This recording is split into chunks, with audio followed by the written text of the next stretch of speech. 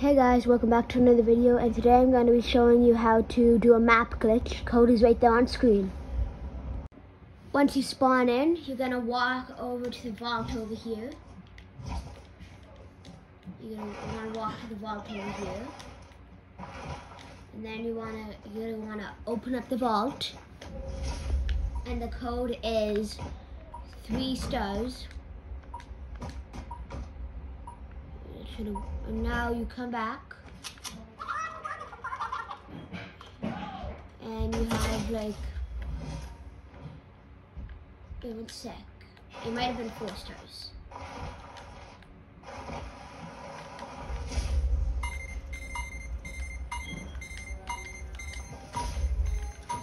Yeah it was three stars guys sorry about that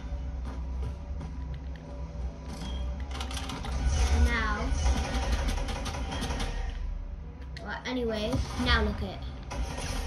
You do a lot of damage.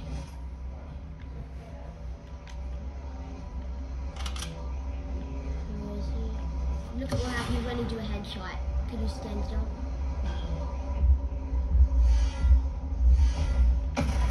Five hundred damage when you do a headshot.